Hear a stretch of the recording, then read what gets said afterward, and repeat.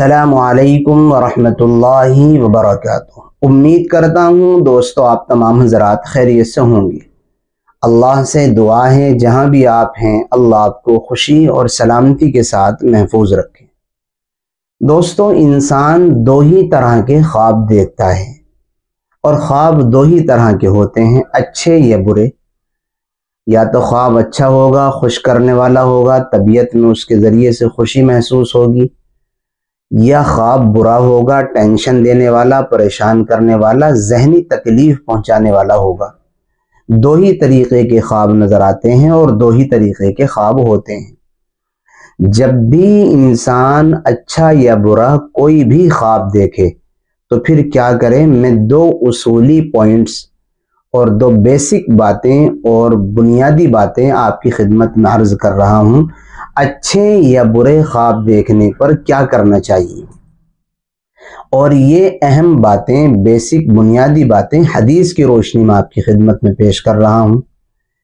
पहली बात यह है कि अगर आप बुरा ख्वाब देखें तो बुरा ख्वाब किसी से बयान न करें।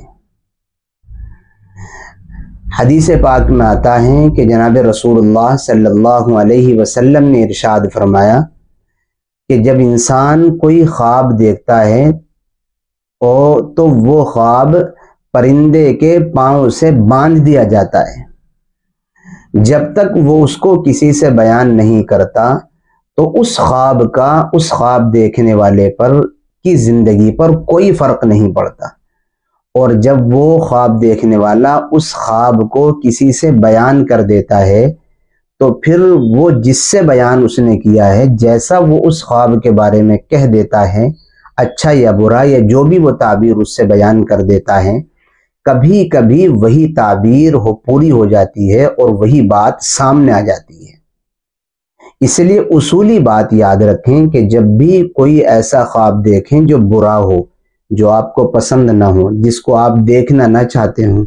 नापसंदीदा ख्वाब जब भी आप कभी देखें तो उस बुरे और नापसंदीदा ख्वाब को किसी से बयान ना करें। उसका फ़ायदा ये होगा कि अगर आप किसी से वो बयान नहीं करेंगे तो जब तक आप बयान नहीं करेंगे, आपकी ज़िंदगी पर अच्छा या बुरा किसी भी तरीके का कोई असर उस ख्वाब की वजह से नहीं पड़ेगा। ये तो हो गई बुरे ख्वाब के बारे में एक अच्छी और बुनियादी और उसूली बात। इसके बरखिलाफ अगर आप, आपने ख्वाब बुरा नहीं देखा, नापसंदीदा नहीं देखा, बल्कि आपने अच्छा और पसंदीदा कोई ख्वाब देखा है तो फिर क्या करें? याद रखें कि अगर आपने कोई अच्छा पसंदीदा ऐसा ख्वाब देखा जिसको आप पसंद कर रहे हैं तो उस ख्वाब के बारे में भी आप किसी ऐसे इंसान से तस्करा करें जो आपके हक में खैर खा हो और आपके हक में भलाई चाहने वाला हो और वो ताबीर के बारे में कुछ मालूम रखता हो, आपकी तरक्की से वो खुश होता हो और आपकी खुशी में वो खुश होता हो। किसी ऐसे इंसान के सामने बयान करें, अपना वो ख्वाब भी जो अच्छा है इसलिए कि अगर आप किसी भी अकल के मोटे इंसान के सामने और बेसोचे समझे नादान आदमी के सामने बयान कर देंगे तो कभी कभी वो गलत ताबीर या ज़रूरत के लिहाज से और आपके बारे में कुछ न जानने की वजह से कुछ भी कह देता है तो वो पूरी हो जाती है। तो हदीस पाक में आता है कि अक्लमंद समझदार और अपने किसी करीबी इंसान से अच्छे ख्वाब का तस्करा करें ताकि आपके ख्वाब के सिलसिले में वो आपकी सही रहनुमाई और ऐसी रहनुमाई कर सके जो आपके लिए फ़ायदेमंद और सूदमंद हो। तो ये दो उसूली बात हमेशा याद रखें ख्वाब के बारे में। कभी कभी हमारी थोड़ी थोड़ी सी और नादानी छोटी छोटी सी नादानियों की वजह से भी हमारे लिए मसाइल खड़े हो जाते हैं। अच्छा ख्वाब किसी समझदार, अपने से मोहब्बत करने वाले, प्यार करने वाले से बयान करें। जो आपकी सही रहनुमाई कर सके और बुरा ख्वाब किसी से बयान ही ना करें।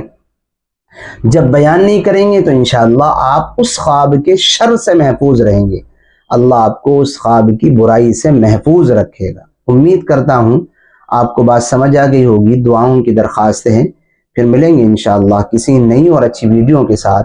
असलकम वरहमल वर्का